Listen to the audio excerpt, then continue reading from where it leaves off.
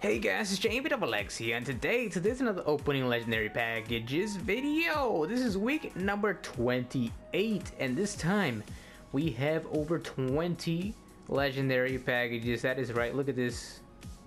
And uh, we have a shit ton of other stuff right here. We also have four legendary engrams on us, but if it gets too bad, we will open up those legendary engrams. If not, then you know, they would just leave them there.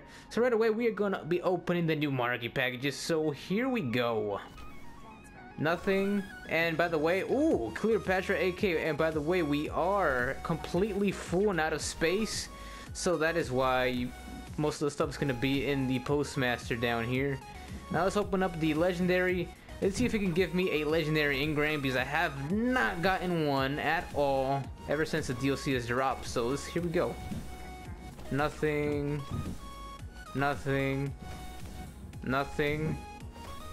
And see, we did not get any legendary engrams. This one's already in there, but damn.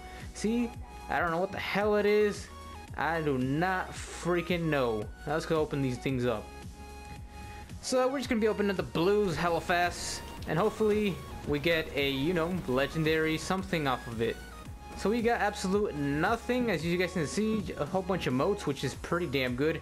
And I might have to dismantle some stuff, so I could cut the video right here. Alright, so I got another batch of freaking engrams, and this time we're going to be opening a couple legendary engrams.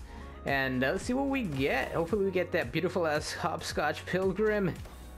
No, not at all. Let's see what we get off of these two legendary secondaries. Nothing that I wanted. Now let's go to get the other batch.